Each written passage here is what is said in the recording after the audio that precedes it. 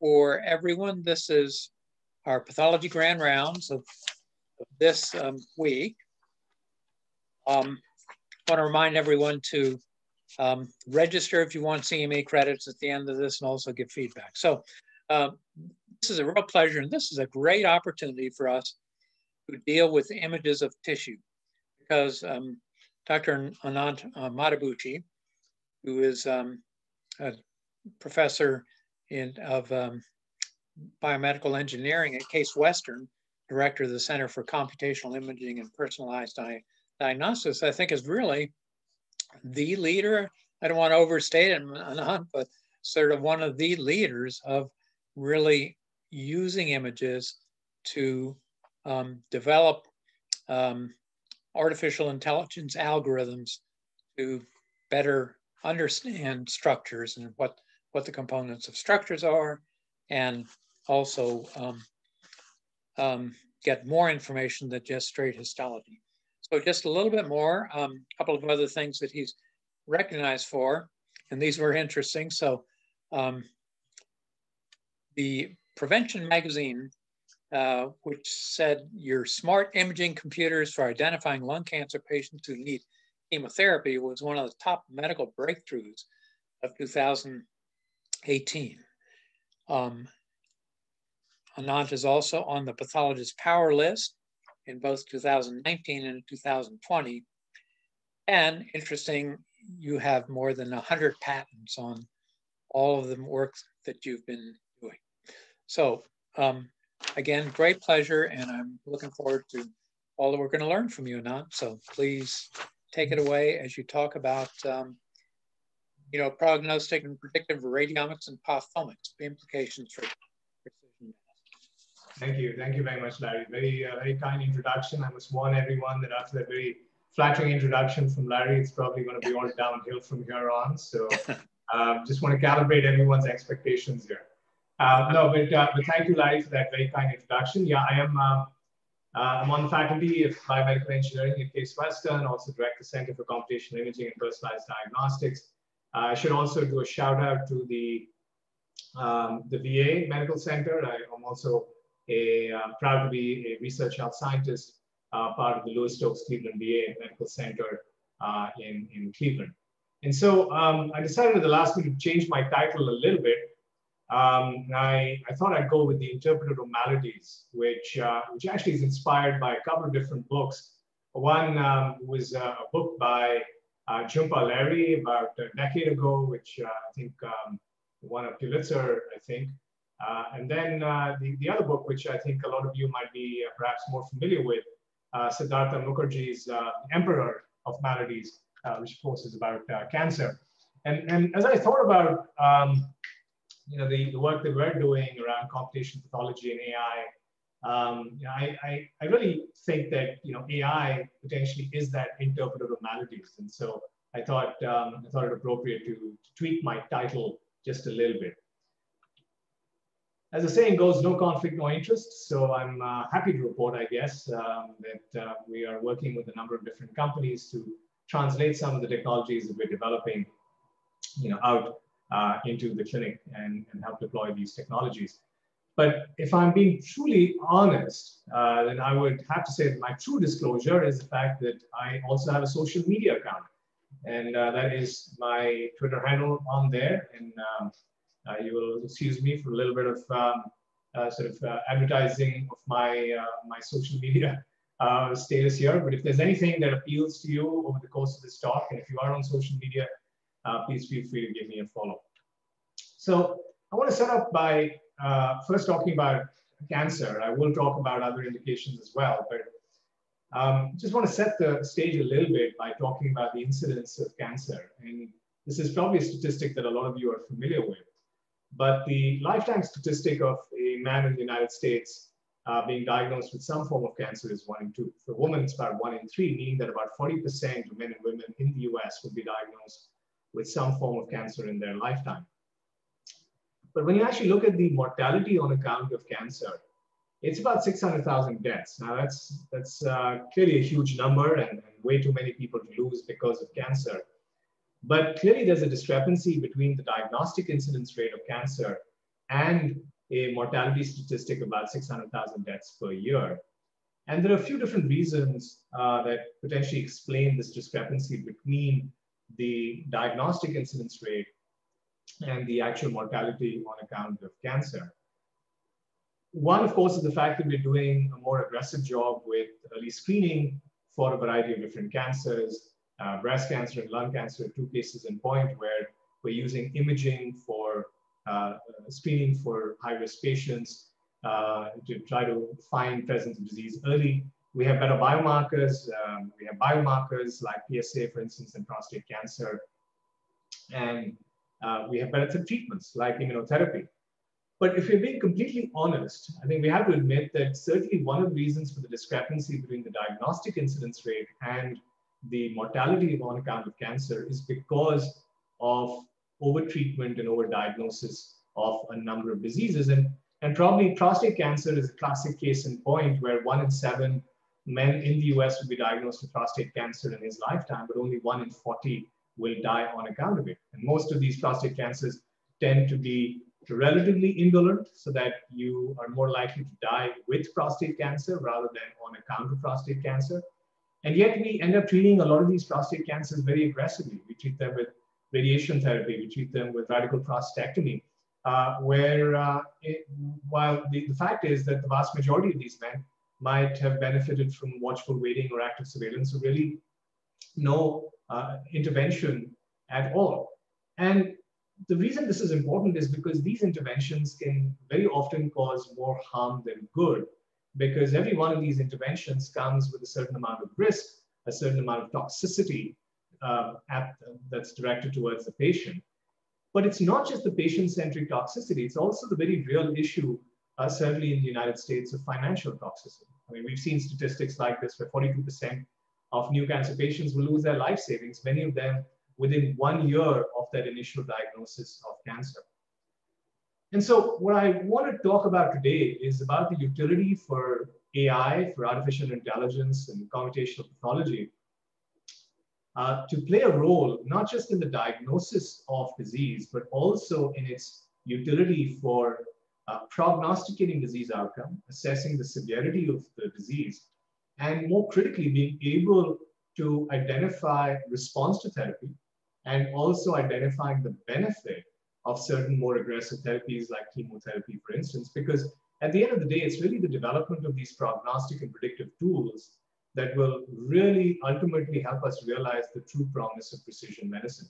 So unlike what a lot of other groups are doing around you know, AI, which tends to have more diagnostic focus, really identifying the presence or absence of disease, what I'm really going to talk about is the work that we're doing in our group around using AI and computational pathology more from a prognostic and a predictive perspective. Now, I want to quickly add here that this idea of prognostic tools and predictive tools is not a new concept. It's been around for a number of years, and probably the most famous uh, of these prognostic and predictive assays is the Oncotype DX assay from Genomic Health, uh, which is a multi-gene expression-based assay for identifying which uh, breast cancer patients, early stage breast cancer patients, were going to benefit from adjuvant chemotherapy versus which patients uh, could safely avoid adjuvant chemotherapy. And this test has been around for about 20 years. It looks at the expression of 21 different genes and provides a risk score. And based on that risk score, a decision is then made uh, whether or not to treat with adjuvant chemotherapy. Now, this test has been uh, successful. It's, it's widely used but comes with some challenges. It's tissue destructive, it is expensive, um, but also because it involves macro dissecting a part of the tumor for doing the gene expression profiling, it has the risk that it might miss out on profiling the more aggressive components of the tumor. Uh, we know that intratumoral heterogeneity is a real issue. We know that tumors that tend to be more heterogeneous with multiple subclones tend to be more aggressive. And we know that uh, if you've got a test that samples only a part of the tumor, and that's not the most aggressive component of the tumor, then there is the risk that you're not getting a risk assessment that truly captures the true risk profile for that particular patient. With the digitization of glass slide images over the last 20 years, there now is an unprecedented opportunity to develop and apply artificial intelligence and computational pathology tools to interrogate tumor morphology in, in a way that really is unprecedented. And this is just a, a snapshot of some of the work that we're doing in our group. We're using concepts from network theory and, and computer science. We're able to develop algorithms that can go and identify individual cells in these H&E images. We're able to use concepts from graph theory to look at the spatial architecture of individual cells, look at the uh, arrangement of these individual cells, how far apart from each other they are. We're able to use mathematical operations like textual analysis to look at the heterogeneity within different tissue compartments, look at the heterogeneity within stroma, within epithelium, within individual each, within each individual nucleus, and convert the entire landscape of these pathology images into a series of quantitative descriptors that now give us uh, you know, a, a, risk assessment of the tumor in a way that simply is not possible to do based on visual assessment of these glass slides alone. And so about a dozen years ago, I uh, had the good fortune of meeting uh, Dr. Sridhar Ganesan, a breast oncologist. And Sridhar and I were talking, and I was talking to him about some of the work we were doing in using AI to do breast cancer grading and prostate cancer grading. And when Sridhar saw some of the work I was doing, he said, well, you know, what you're doing is great, but truth be told, it's not as interesting to me because as a clinician, my major challenge is really being able to identify who is going to benefit from therapy, who is not going to benefit from therapy. Um, and so we came up with this concept of the image-based risk score or IBRIS, where the idea was that we were going to take just H&E slides that were digitized, that were required as part of routine clinical workup of these patients, identify patterns of aggressive disease using the IBRIS, so the image-based risk score AI algorithms, and use those patterns to then make a prediction as to who is going to benefit from um, adjuvant chemotherapy versus patients who could avoid adjuvant chemotherapy. One of the things that we needed to do was to develop tools to go in and find the individual uh, cells, the individual structures within these glass slide images. Um, everybody, I'm, I'm pretty sure everyone has heard of deep learning algorithms and essentially the idea with these deep learning algorithms is that you've got uh, this architecture comprised of you know multiple different layers of neurons that are all connected to each other and essentially by passing in a series of annotated examples to the network the network is able to learn representations of the target of interest so for instance in this particular work that we published know, about five years ago um, we were able to train a deep learning neural network to go in and find individual cells. So we essentially provided a series of annotated examples of cells on these slide images provided to the network. The network then learned patterns corresponding to those individual cells and nuclei. And the network was then able, on a new set of images, identify the exact spatial location of these individual cells. So these are very powerful uh, techniques. They're relatively easy to stand up because uh, you know it's not complicated. You don't really have any domain knowledge that you need to know about the disease. Um, you really just need to provide annotated examples to the network. A few years ago, we then thought about trying to see whether we could challenge these deep neural networks to identify problems that were higher level. So beyond just low level image processing and segmentation, we want to see whether these neural networks could potentially go in and predict uh, high-level diagnostic tasks. For instance, try to identify which patients were going to have heart failure or not based off tissue biopsies. Uh, we wanted to look at endomyocardial biopsies to try to figure out whether we could predict the risk of heart failure or not. And so Jeff Nirschl, um, who was a student at uh, the University of Pennsylvania at the time, now is a pathology resident at Stanford, um, worked with, with my group as well as a, a cardiologist a radiologist at the University of Pennsylvania. And we put together a cohort of endomyocardial biopsy patients, which had a mix of both uh, normals, uh, but also failing hearts. Uh, we provided it to the neural network. There was a discovery set. The network was able to learn patterns from these endomyocardial biopsies to distinguish what was failure versus what was a normal heart. We then got an independent set of another 100 odd patients, which were used to validate the algorithm. So the set of cases came from uh, the University of Pennsylvania again. And we applied the same methodology uh, to the validation set. And on the validation set, the uh, classifier did a really, really amazing job. We had an area under the curve of 0.97. Uh, and this was on the independent test set. So not on the discovery set, but on the independent test set. What was really nice was that when you compared it against the pathologists, we had two cardiac pathologists who looked at those same test cases, and their average area under the curve was only 0.74. So there was about 24% differential. Um, it looked like the machine classifier really knocked this one out of the park and a really, really good job. But the caveat to the story uh, is that a few months later, when we got another tranche of cases from the University of Pennsylvania and ran it through the same network, the performance decreased quite dramatically. So the accuracy went from that 97% down to 75%. So it wasn't like it was guessing. Um, it was actually in the same ballpark of where the pathologists were.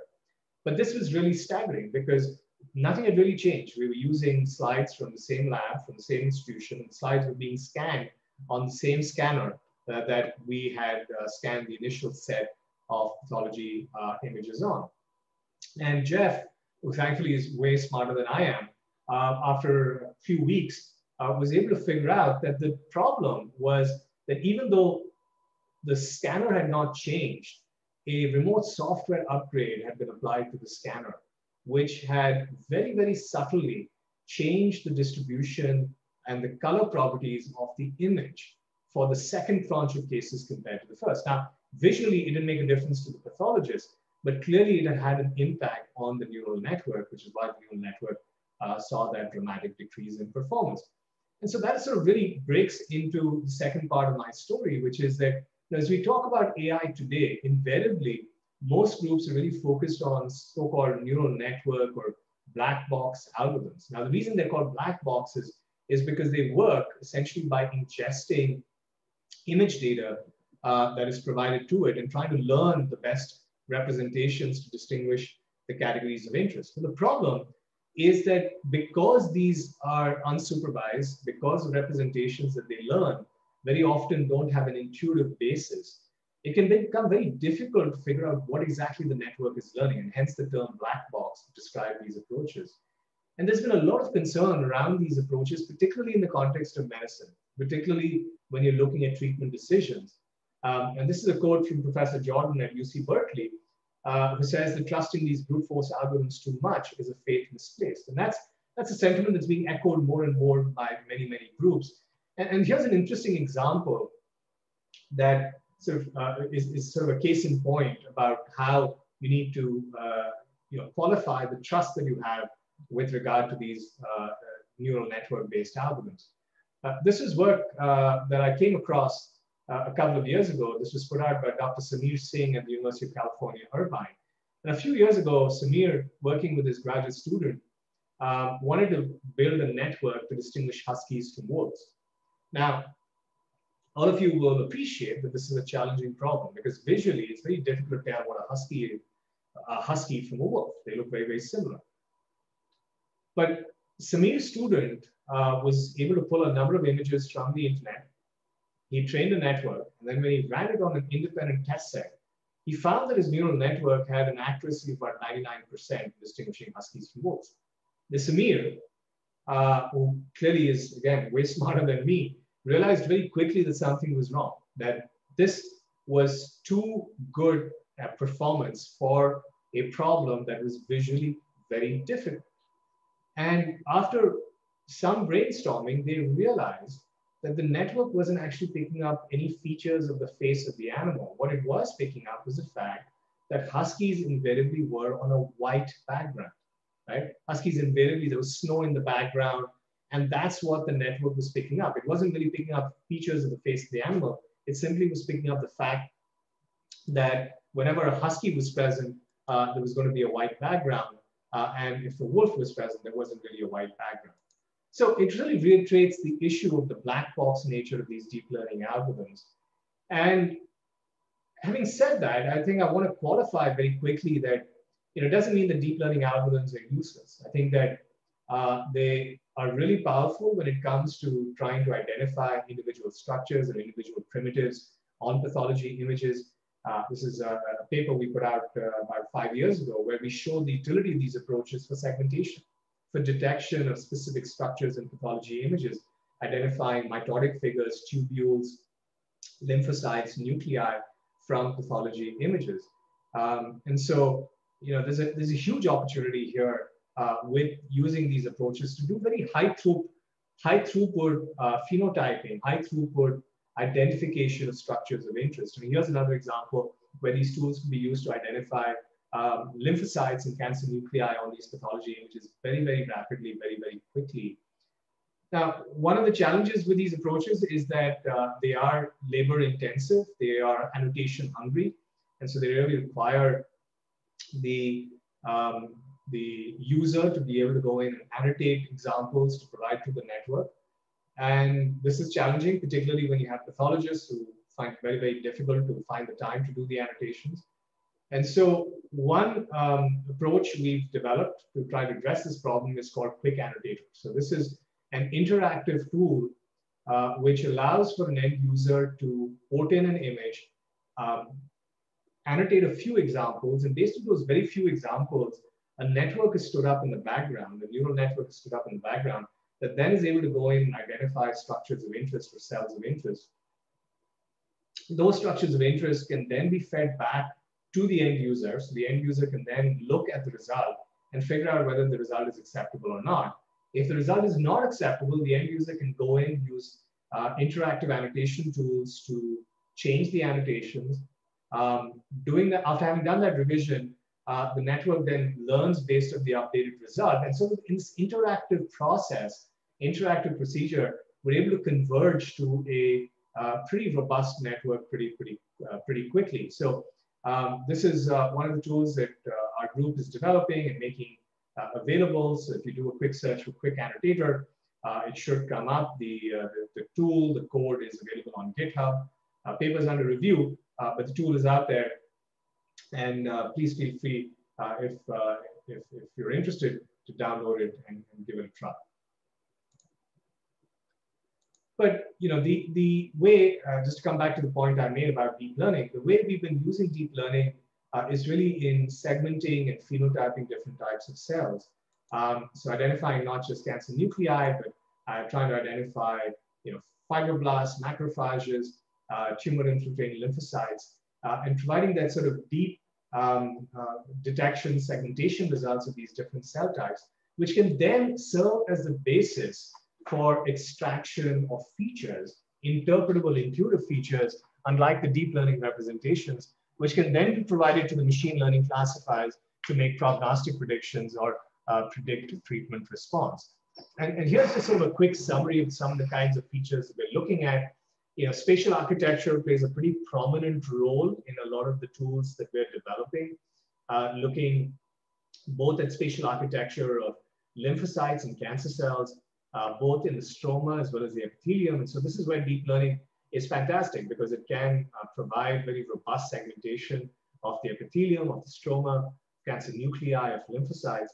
And once those are all segmented out, then we can use algorithms from network theory and graph theory to start to construct these spatial motifs, so these spatial connections between these different cell types uh, to start to pull out signatures of features uh, that pick up quantitatively the morphology uh, of these different tissue compartments of these different cell types.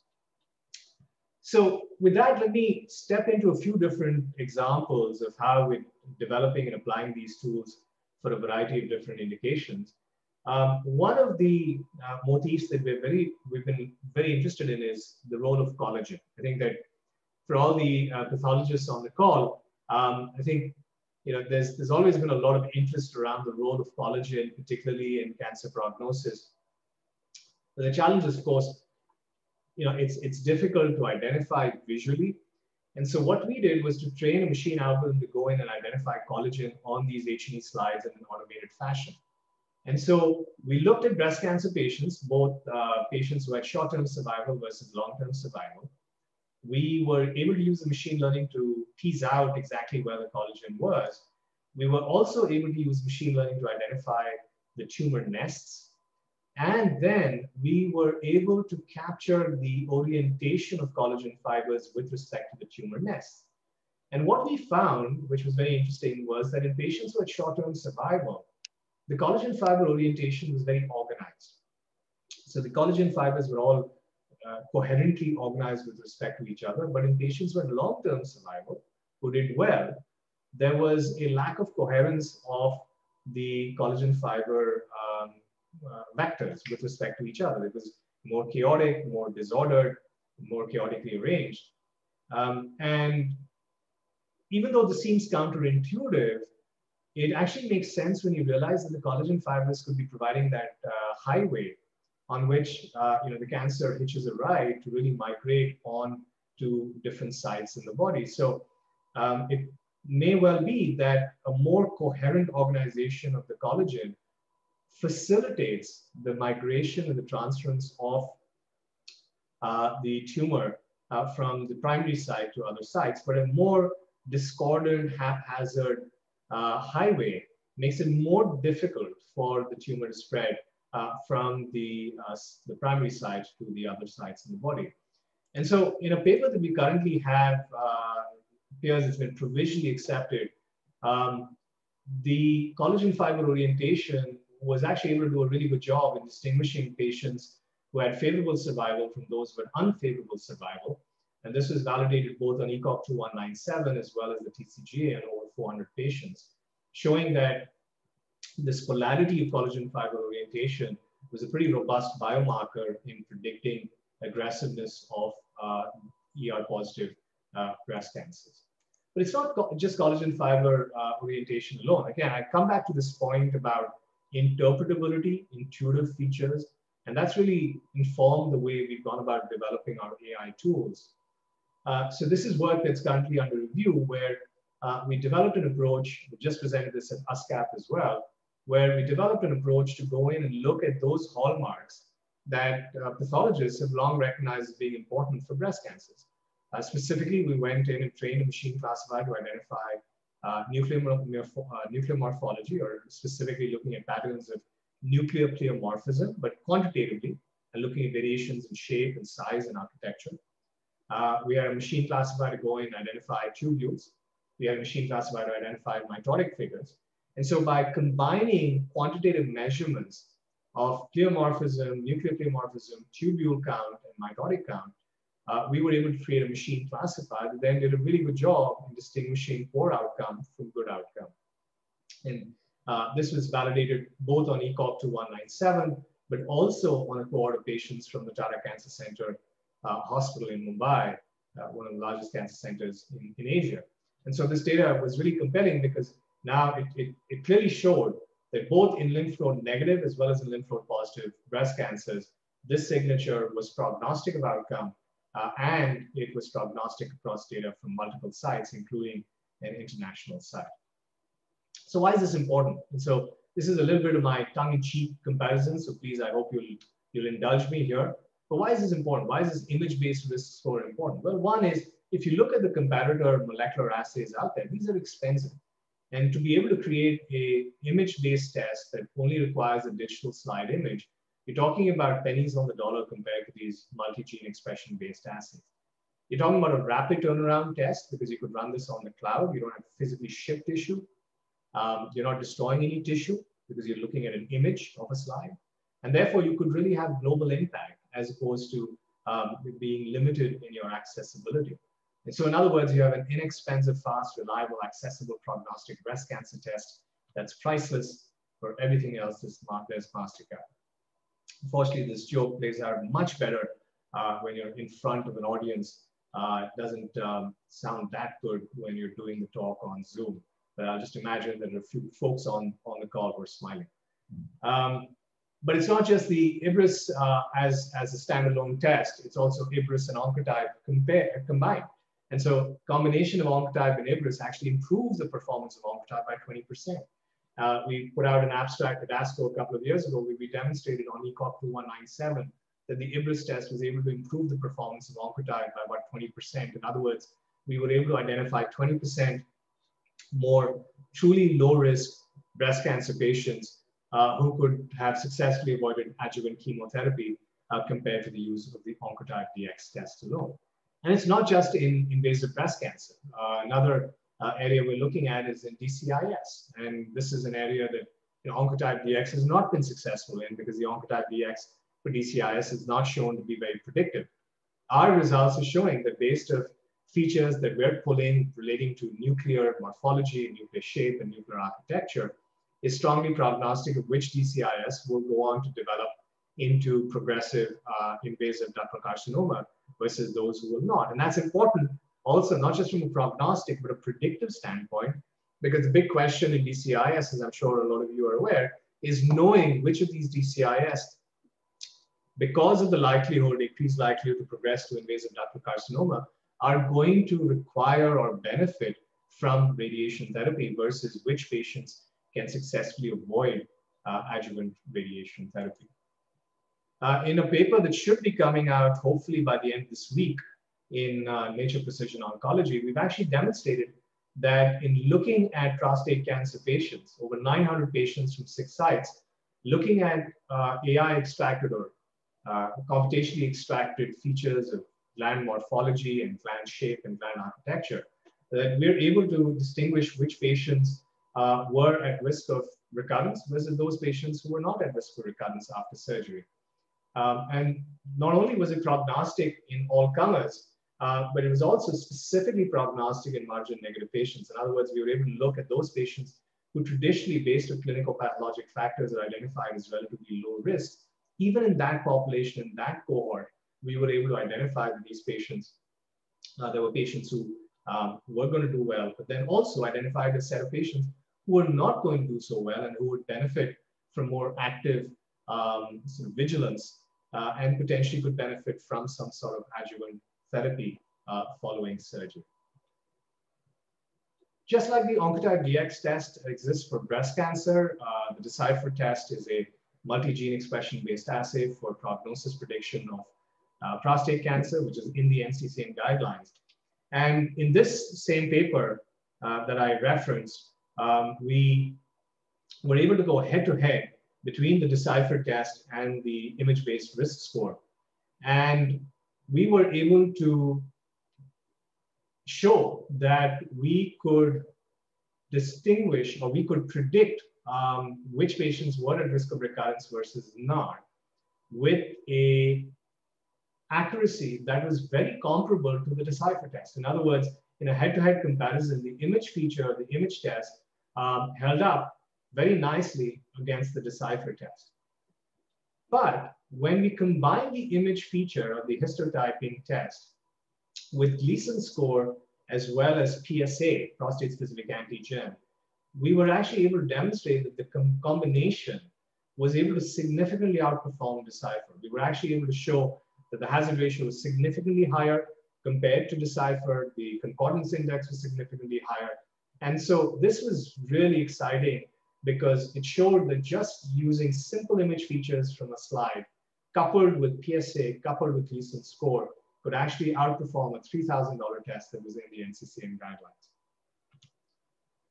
One of the other questions that we've been looking at is where do you interrogate? Of course, we all know that the money tends to be in the tumor, but in a study that we put out with, um, with the Johns Hopkins group a few years ago, we actually were able to demonstrate that features of the tumor adjacent normal regions or benign regions um, were uh, even more prognostic of biochemical recurrence compared to the features uh, that were coming from the tumor alone.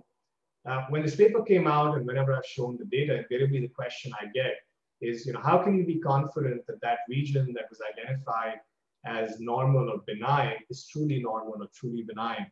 And I have the same response to this question every time I get it.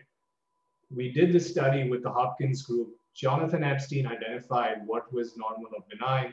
If you've got a question about whether that's truly normal, truly benign, take that up with Jonathan Epstein. Sorry, a little bit more Zoom humor that would have worked better in person.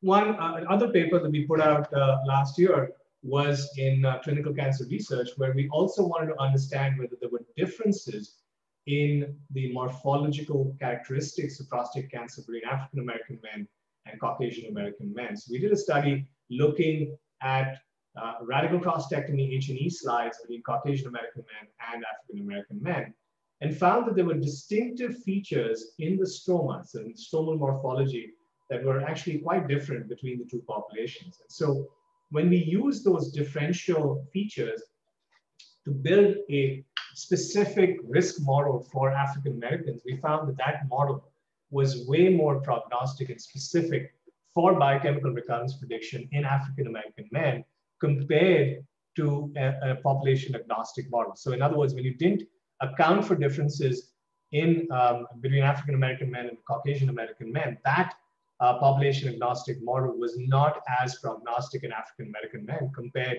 to a, a population specific model, just sort of reinforcing or reiterating what we're you know seeing uh, coming out in, in, in stories and magazines and articles that you know, we have to also, as we build these AI tools, we have to be cognizant of implicit bias.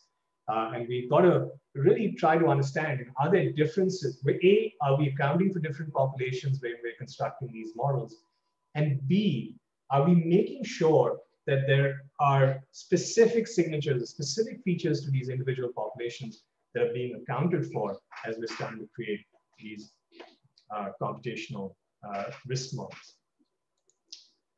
Uh, another area we've been working on is in the area of uh, P16 positive oropharyngeal squamous cell carcinomas. This is an ongoing project, uh, courtesy a couple of R01s with uh, Dr. Jim Lewis at Vanderbilt.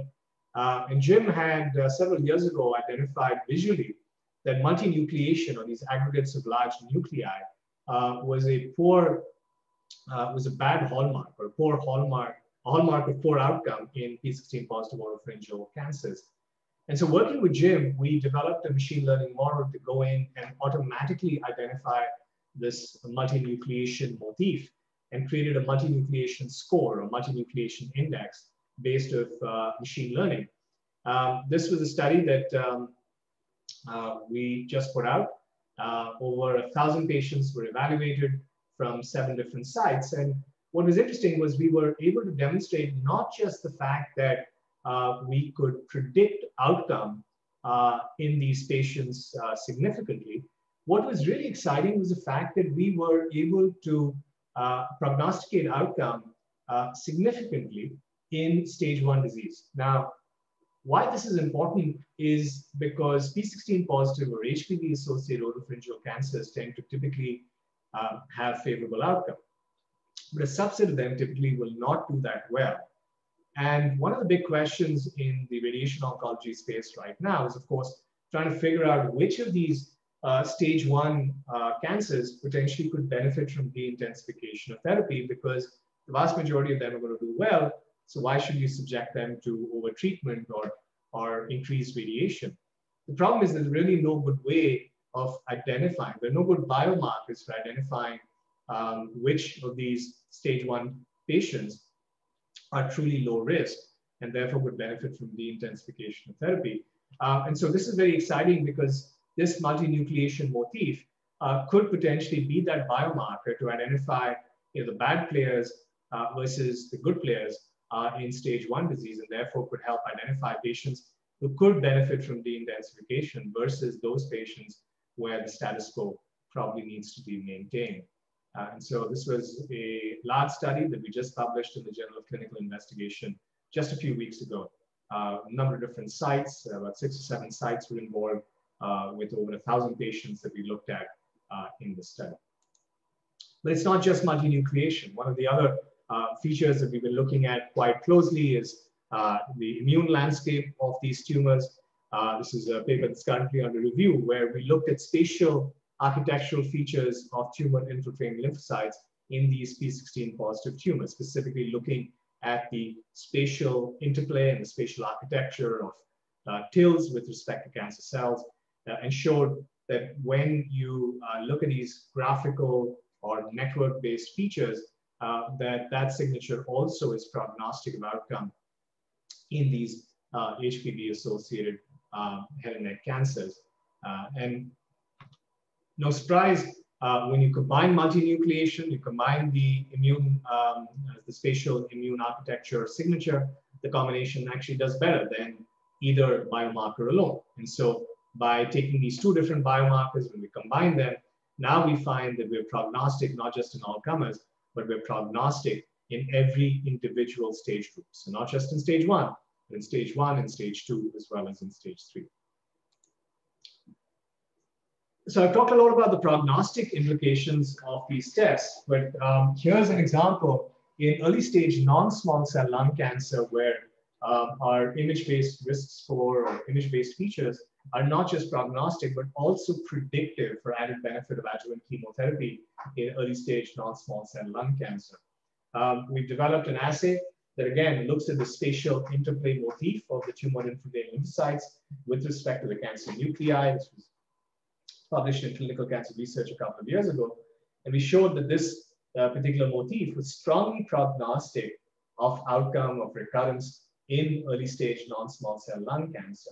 But I'm sure uh, all of you are aware, one of the big problems in early stage non-small cell lung cancer is trying to identify which patients will benefit from surgery alone versus those patients who will uh, benefit from surgery plus adjuvant chemotherapy, particularly patients in stage 1B.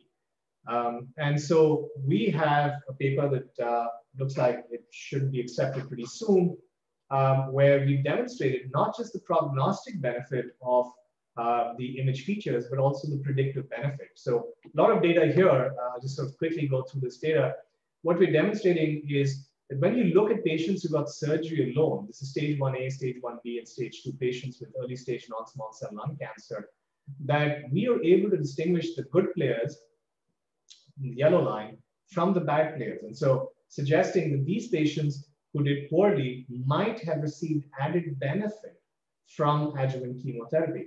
Interestingly, when you look at the patients who got surgery plus chemotherapy, there's no significant difference between the two curves, but there clearly is a line suggesting that there is a subset of patients who have a low risk score for doing well, and those might be the patients who could benefit from uh, maybe avoiding adjuvant chemotherapy. Now, obviously, this needs to be validated in the context of a clinical trial, but um, this data, even though it's retrospective, augurs well that this signature might not just be prognostic, but predictive as well.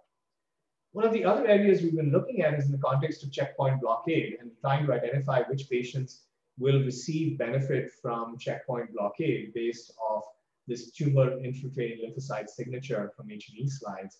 Uh, this is unpublished work, uh, but I just want to share it with all of you. We've demonstrated that looking at biopsies, just baseline biopsies in uh, lung cancer patients treated with IO, that the spatial TIL signature was prognostic, was uh, predictive of uh, response, uh, response uh, based off uh, the RECIST criteria.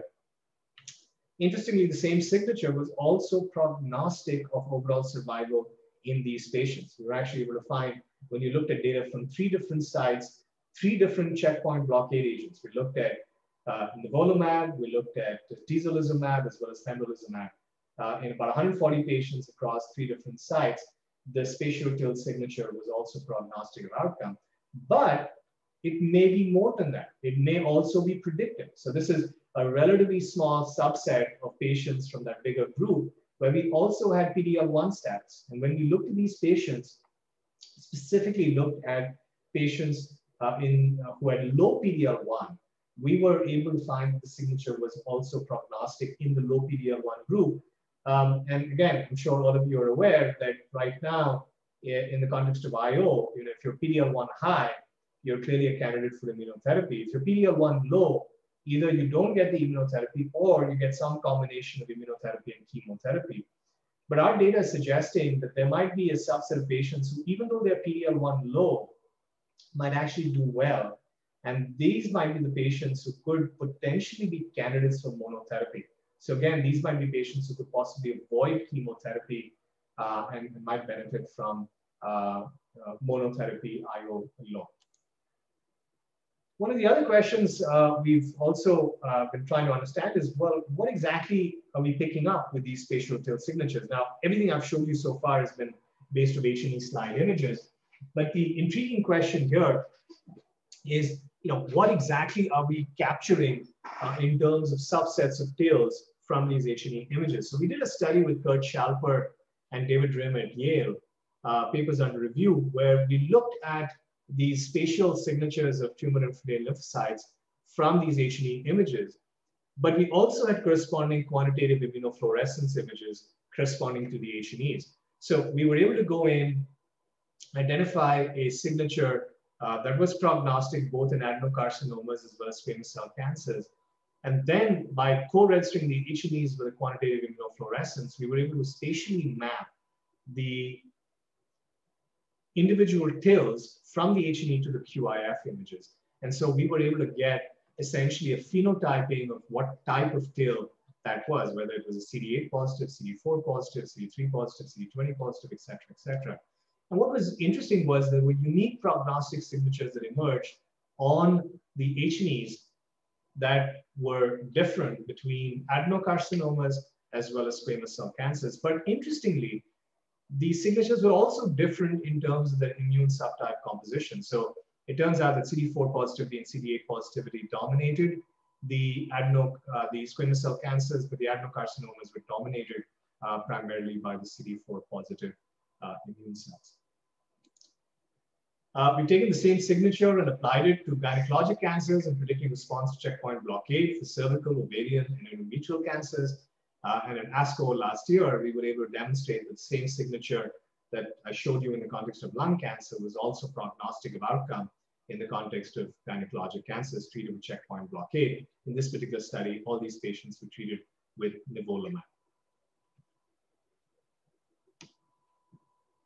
I also want to do a quick shout out to an uh, ongoing project um, with uh, Dr. Jonathan Liu at UW, um, uh, Nick Reder, as well as uh, Dr. Uh, True, um, where we are looking at this amazing technology that um, Dr. Liu and his colleagues have developed at UW, uh, light sheet microscopy. I'm sure all of you are familiar with this technology.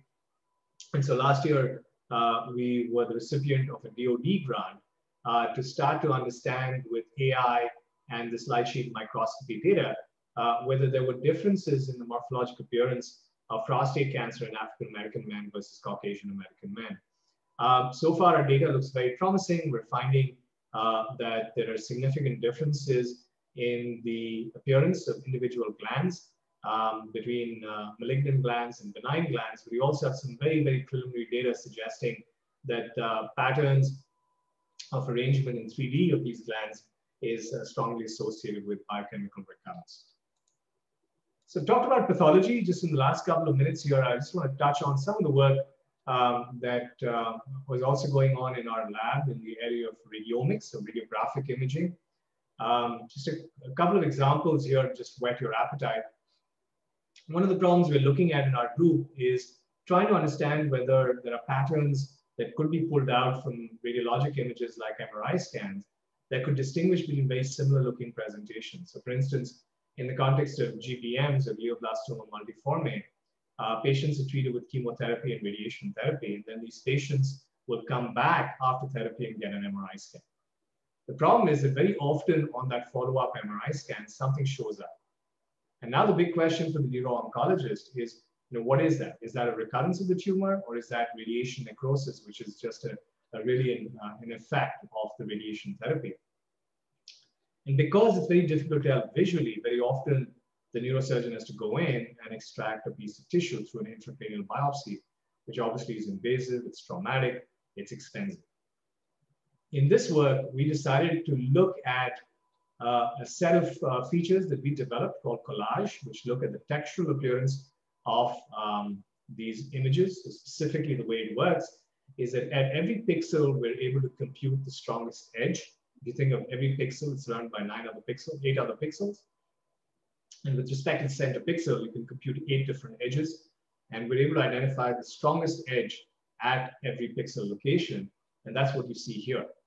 Uh, then we're able to borrow the idea of entropy from high school physics. What we call entropy essentially is a reflection of the amount of order or disorder in the system. So if you've got a high entropy, high degree of disorder, if you've got a low entropy, it means that the system is more organized. Um, and so we're able to create these entropy maps that essentially tell us about the relative order or disorder in these images. Uh, you can see here that the red represents a high degree of disorder, high entropy. Blue means much lower um, entropy. And so it turns out that if you see a lot of red, Uh, the disorder is reflective of recurrence of the cancer. Radiation necrosis, on the other hand, is characterized by um, a much lower degree of entropy. We've taken this approach, applied it to lung cancers, and shown that the features both inside the tumor, the entropy features inside the tumor as well as outside the tumor on CT scans is both prognostic of recurrence, but also predictive of added benefit of adjuvant chemotherapy, particularly in early stage non-small cell lung cancers. Uh, we've shown recently that this pattern of appearance on CT scans from baseline CT scans is also predictive of response to checkpoint blockade in non-small cell lung cancer. This was a multi-site study we published in Cancer Immunology Research and also demonstrated that the signature was not just predictive of response, but also prognostic of overall survival. Um, just as I showed you with the, uh, with the tissue images, we've also uh, done a study in stage three non-small cell lung cancers looking at chemotherapy and uh, followed by radiation, followed by durvalumab and found that even in the combination therapy setting, we could identify uh, patients who were going to respond well versus patients who were not going to respond that well. Uh, similar to the work I showed you with the biopsies, we also looked at low PD-L1 and high PD-L1 expression and found that in both groups, low PD-L1 as well as high PD-L1, uh, the signature was strongly prognostic. Again, suggesting that in the low PD-L1 group, um, that we might potentially be able to identify patients who could possibly avoid chemotherapy uh, and maybe just uh, consider a regimen comprised of radiation and checkpoint blockade alone. Uh, finally, one of the other uh, motifs that we've been looking at and trying to characterize on uh, these radiologic scans uh, relates to the tortuosity and the twistedness of the vessels associated with the tumor uh, a few years ago, we made the breakthrough that when you look at the tortuosity of these vessels, um, the twistedness was actually an indicator of how malignant the tumor was. We started working on this in the context of lung cancer, but now I've um, looked at other cancers as well. And so in this work, we showed that the twistedness of the tumor-associated vasculature was strongly associated with likelihood of response to new neoadjuvant chemotherapy in the context of breast cancer. Um, again, in the context of checkpoint blockade, we found that when you look at uh, CT scans of patients um, with lung cancer, if you look at a baseline CT scan, the twistedness of the vasculature associated with tumor is a strong indicator of the likelihood of response. The more twisted it is, the worse the response, the less twisted it is, the better the response. And that twistedness is also strongly associated with overall survival as well as PD-L1 expression. And so with that, I'll conclude. So hopefully what I've conveyed is that computational analytics with routine imaging can help address questions in precision medicine, specifically prognosis and predicting response to therapy. Uh, I think a big advantage of these tools is the fact that they're low cost. And because they're low cost means that there is uh, a potential for global impact, especially in low and middle income countries. I try to make the case today that you know uh, we really need to look at interpretable features, intuitive features, and also really explore association of these features across length scales. how the features on a biopsy relate to what you're seeing on a CT scan or an MRI scan, and conversely, how does that feature relate to what's happening at a molecular level uh, or at a pathway level? Because think from a clinical decision support perspective, establishing the morphologic and molecular basis of these imaging features is going to be critical to ultimately drive uh, clinical adoption. And so with that, I want to just do a shout out to the amazing uh, students, postdocs, faculty, staff that I have the honor and pleasure of working with on a daily basis, my amazing group at the Center for Computational Imaging and Personalized Diagnostics. And of course, you always thank the people who put food on the table. So just a shout out to the various funding agencies that have made this work possible. Thank you very much. Thank you, Anant. That's wonderful. Um, for those of us who spend uh, most of our diagnostic time looking at images, I, I find this just um, very stimulating and, and very uh, uh, much a, a, producer of hypotheses. So let's see, we have, uh, I'm just looking for chat questions and I'm not seeing any. So while um, people pose their questions, um, let me just ask you a couple of things. So, um, over the years, there have been a number of uh, publications. I remember a Dutch pathologist, uh, I think a couple of decades ago, coming out with a whole set of image parameters. Um, nothing to the degree of um, uh, sophistication that you're looking at them, but um, one of the challenges, I guess, is to see if the clinical findings, the clinical outcome, can be validated to a level independent of the institution of the set of um, histologic stains, those parameters that you discussed. And yeah, have, yeah. have you begun doing that? Yeah, I think that's a great point, Larry. I think that, you know, the, the multi-nucleation example that I gave, the work that we're doing with, um, you know, Jim Lewis at Vanderbilt and, and others, I think it's a classic case in point. You know, it started with a hypothesis. It started with a, uh, uh, a finding by a pathologist looking at a series of these slides. But one of the things that Jim realized is that you know he couldn't do it reproducibly, or even if he could do it, yeah, you know he, he couldn't have his colleagues, you know, their assessments were going to be off. And so, you know, to me, that's sort of a classic case in point, which which just sort of you know makes the the case that you made, where you know it's an opportunity to then take what we learn and I mean, I think that you know one of one of the things that I'm always surprised by is how much you know pathologists uh, have learned. You know, you, you guys have been doing this for over hundred years, right? And of course, when I say you guys, I mean I'm not talking right. literally here, but but you know, yeah. pathology has been you know been practiced for for over hundred years, and there's a significant brain trust there, significant amount of domain knowledge that we have, and I think this is the opportunity to think about how do we start to quantitate and make reproducible assessments of the domain knowledge. And this is, this is why I'm, I'm a little critical of sort of the black box kind of approach, because we're leaving so much of this really valuable domain knowledge that exists uh, and that I think can be modeled.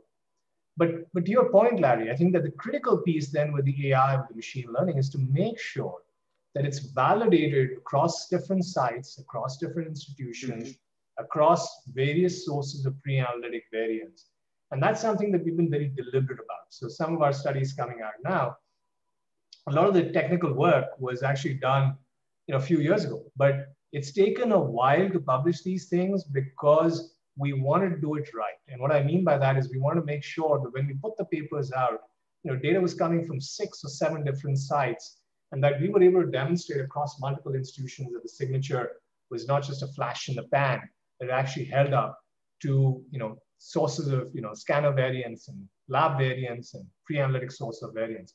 So I would say that you know, the, the important thing here is to make sure that when these are validated, it's not just having a large amount of data. It's really making sure that the data is, this, the models are validated on a plurality of sites. I think that is really the critical piece here. Yeah. There's a question in the chat box. Uh, there is. Yeah, Ray Monnat asking, one of my colleagues. Yeah, um, yeah, it's a great question. I think the, the question is about uh, entropy and combining the approach with um, you know, other edge-based features in GBM. Yeah, it's a great question. I mean, that collage was just one particular feature that uh, I wanted, I showed. But uh, you know, a lot of what we're doing is really on combining multiple different types of approaches. I mean, there are multiple different uh, edge operations uh, that have been around for decades now, right? Mm -hmm. But uh, one of the things that we've been trying to look at is know, how can you look at multiple different categories of approaches? So for instance, I showed the example with vessels. So there's a series of measurements you can get from vessels. There are measurements you can get from the morphologic uh, heterogeneity, you know, using collage or other edge-based or other texture-based operations. But then there are other things as well. I mean, in GBMs, for instance, we're also looking at deformation. You know, the tumor induces the deformation around it. And right. so finding yeah. ways in which you can use image processing to try to capture that deformation. So what we're trying to do now is to take these various different categories of image features and combine them into a multi uh, multi-variable predictor mm-hmm. of outcome. I, yeah. I, see Ray is on. Did you want to come? No, no, I, I really enjoyed the talk because I think you touched, uh, as Larry has highlighted, so many important aspects of this field that I think have not gotten adequate attention. Um, just one quick follow-up before I let Eleanor jump on here. Um, I was really intrigued by the, um, uh, you know, the giant cell scoring in the context of head and neck cancer. And is this something that you've seen outside of that context that might be practically useful in other tumor types? Um, that's a great question. I don't know. Um, I mean, whatever little bit of morphology I know about head and neck cancers is solely due to Dr. Jim Lewis at Vanderbilt. Um, I, I, I, would direct, uh, he's, he's obviously not on the call, but I would direct that question to him. It is, I, I don't know. I mean, the, the, the short answer is I don't know, but we are looking to try to explore that motif in other cancers as well. So mm-hmm. some of the motifs have held up. So for instance, the collagen fiber orientation, we've got a paper that we're sending out right now where we've taken that approach and applied it to endomyocardial biopsies. So we validated in breast cancers, but it also seems to hold in cardiac pathology. And so that's that's really nice. The TIL feature, I think I showed several different examples where the TIL and the immune mm-hmm. response plays a role in multiple different types of indications.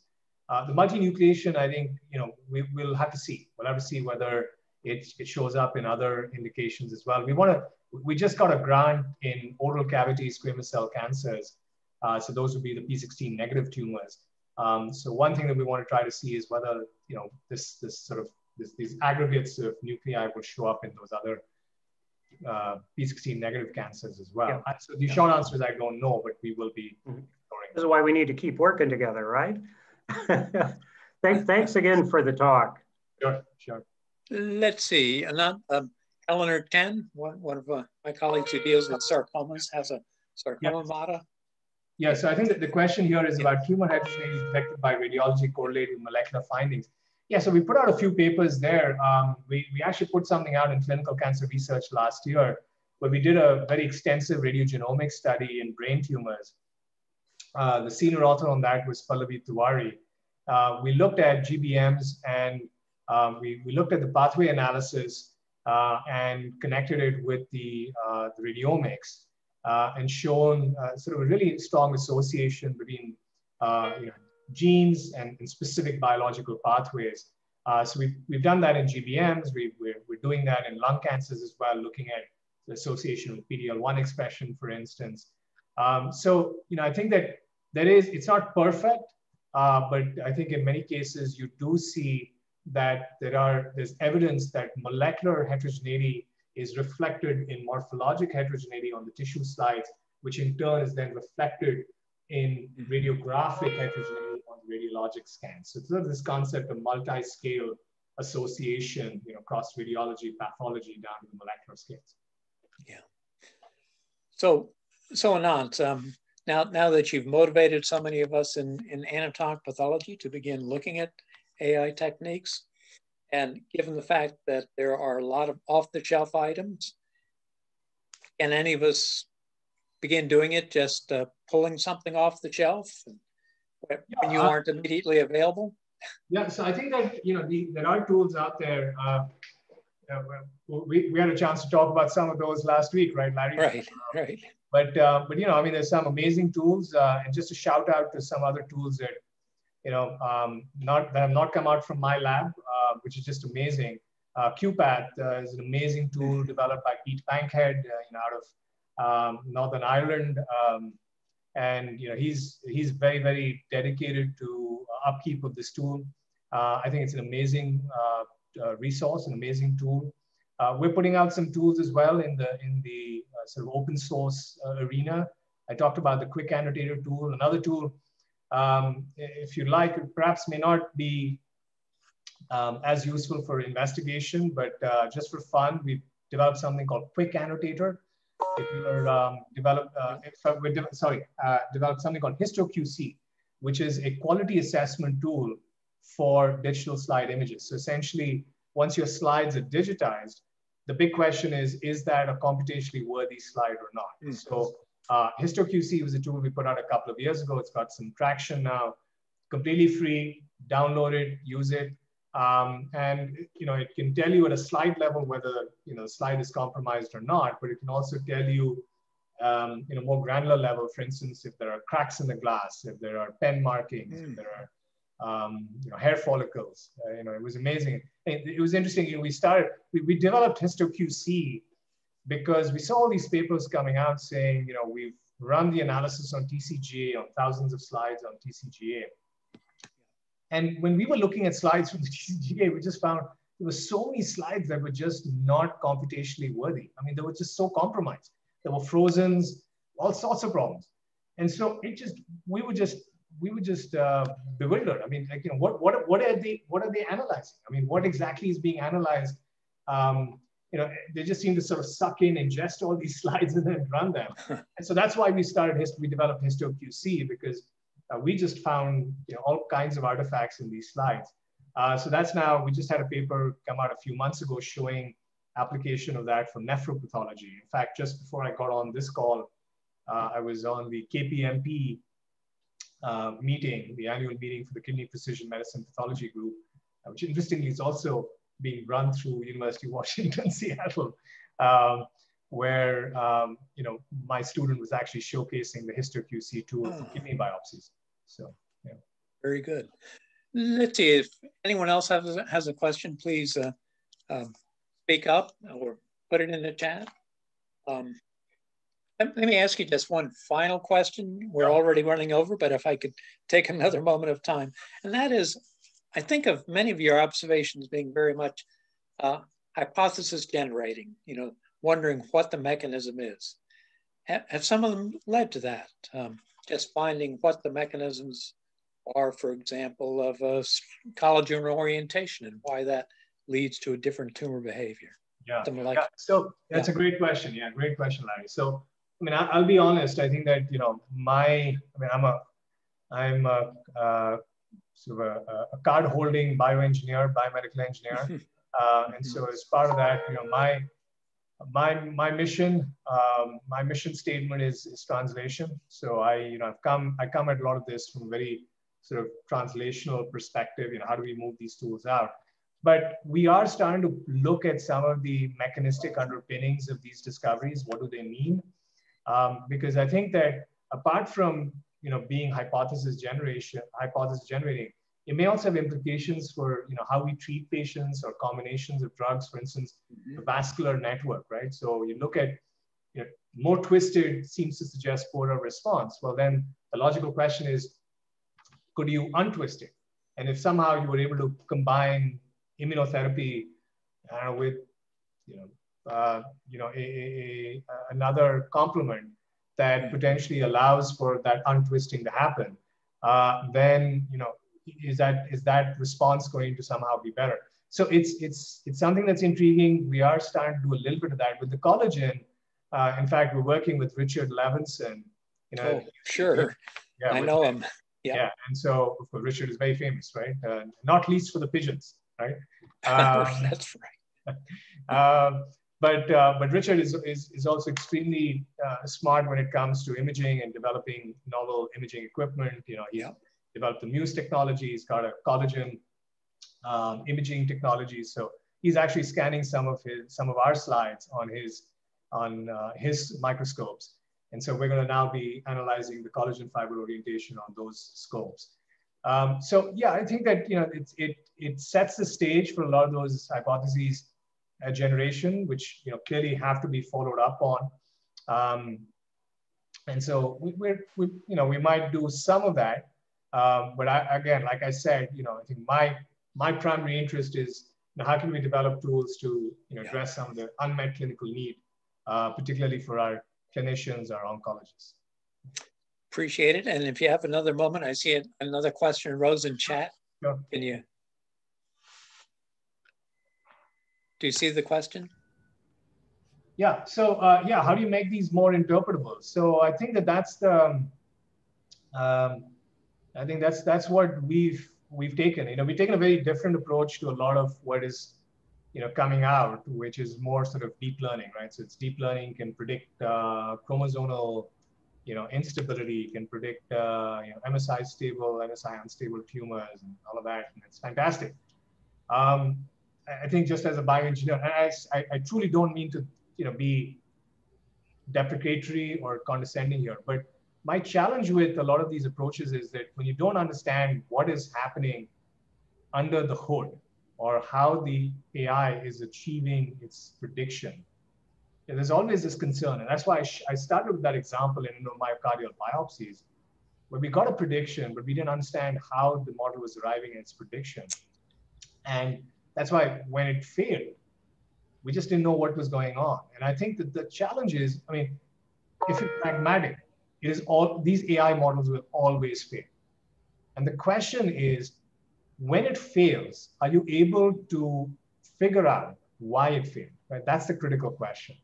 And so, very deliberately, the approaches we've taken are, are, somewhat different compared to what a lot of other groups are doing, which is to really infuse domain knowledge uh, into the construction of these models, really going in with features, attributes that um, are connected to the pathobiology of the disease, that are known in terms of their prognostic relevance. Uh, I gave the example in breast cancer, right? I mean, for breast cancer, I mean, you look at Bloom Richardson grading, you look at the Nottingham grading scheme. I mean, how old is that, right? I mean, it's been around for, for decades now. And we know it's nuclear pleomorphism, mitotic index, tubule formation. And so when we were thinking about creating a model to predict outcomes, we said, well, we know that breast cancer grade is prognostic. We know the problem is it's not very reproducible, but it is prognostic. So if you can come up with a way of quantitating that, then you know exactly what's going into the model. You know that it's it's a measurement relating nuclear pleomorphism, mitotic index, and tubule density. And so we've taken the approach up front to make sure that we infuse interpretable features into the model. Now, the other category of approaches that a lot of other groups are taking is we'll build our model and then try to figure out what the interpretability is. That sounds seems very counterintuitive to me, right? So you, you, you know, and then this is based on these sort of what are called visual attention maps. You try to figure out where the network is looking, and it, it just seems a lot of conjecture. It's not clear to me that that's really what it is. Um, in fact, we have some data showing these visual attention maps can keep bouncing around um, and they're not very stable. So every time you run the classifier, it looks like the network's looking at a different, different part of the image. So that's a really interesting point. Yeah. That's right. That's right. So that's that's the approach that we've taken. Yeah. Just go in with interpretable features to begin with, as opposed to the black box. Thank Super. You. Sorry, I have a question. Thank you, Anant. Yes, yeah. yeah. Uh, I, I agree with you. So uh, in some of most of the papers, they take the attention or the uh, phenotypic clustering as the in interpretability for uh, showing that these are the areas are, are responsible for prediction of prognosis. I think uh, the one the approach you said, like looking at more of a domain knowledge, like how the cell structures, other uh, components are distributed, that makes really sense and lot many works have not been done but most people are working on like different and like more of it it's like related to attention which is not really useful i think yeah. yeah. i mean it could i mean it could be again it could be interesting i think that uh, we still have a way to go i know there's a lot of i mean i don't mean to belittle a lot of active efforts right now in the deep learning space to try to you know focus on interpretability yeah i just i'm a little skeptical about the visual attention map because I mean, our data has shown that visual attention maps can change quite significantly when you change your training set. Okay. Um, and um, I, I, think that you know if you're if you're talking about interpretability of these deep learning networks, you know you have to look beyond visual attention maps. It can't just be based on these attention maps. Uh, and th there are efforts, but I think they're still nascent. I think it's still evolving. Um, you know, it, will be exciting. I mean, if I think we can uh, make more progress on that front, um, I think there'll be a huge opportunity to converge, you know, these sort of handcrafted approaches that I presented today with these more interpretable deep learning uh, architectures. Okay, thank you, thank you. Sure. Great. Okay, Anant, you you have certainly filled what an hour and hour and a quarter at least with uh, really motivating stuff. Sure. Appreciate it again, and uh, I guess I'll see you tomorrow. Okay, sounds good. All right. Okay, thanks again. Thank you, everyone. Cheers. Bye now.